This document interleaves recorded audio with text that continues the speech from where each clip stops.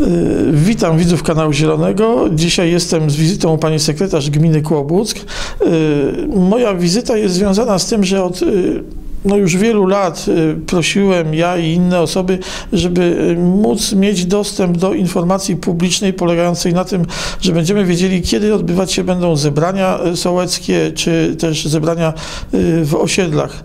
Jest styczeń, do końca marca takie zebrania na pewno muszą się odbyć.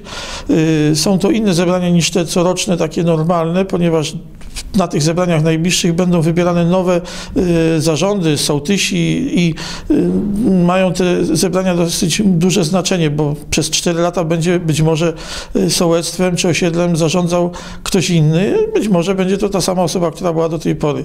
W związku z tym chcę się dowiedzieć, czy jakieś zmiany są przewidywane przez panią sekretarz, przez burmistrza w tej sprawie, żeby ten dostęp do informacji publicznej był lepszy i większy, żebyśmy po prostu mogli wiedzieć, kiedy te zebrania będą, gdzie, o której godzinie i wcześniej się do tego móc przygotować, bo niestety frekwencja na nich jest dość słaba. Y, Panie sekretarz, czy coś się w tej sprawie zmienia? Y, To znaczy tak, y, 19 stycznia y, odbędzie się sesja Rady, na której Rada zarządzi zwołanie zebrań sprawozdawczo-wyborczych y, w osiedlach i sołectwach, po czym wykonanie jej powierzy panu burmistrzowi, a ten wyda zarządzenie w sprawie terminarzu y, poszczególnych zebrań w sołectwach i osiedlach.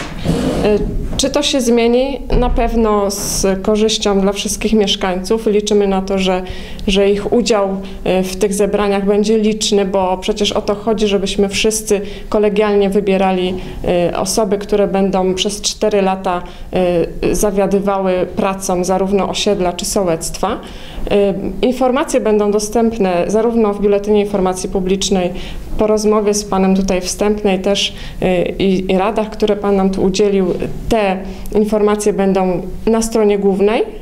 Będą również na stronie internetowej www.gminakłobuck.pl, również na stronie głównej. Ponadto y, postaramy się o to, żeby również media rozpowszechniły tą informację, czyli w lokalnej prasie pojawiły się ogłoszenia pana burmistrza o tym, kiedy i w jakim terminie odbędą się te zebrania sprawozdawczo-wyborcze. No i liczymy również na, na kanał Zielony, który w jakiś sposób też pozwoli nam pokazać, kiedy odbędą się te zebrania y, w sołectwach i osiedlach. Ja oczywiście obiecuję, że będzie taka informacja Dziękuję. podana.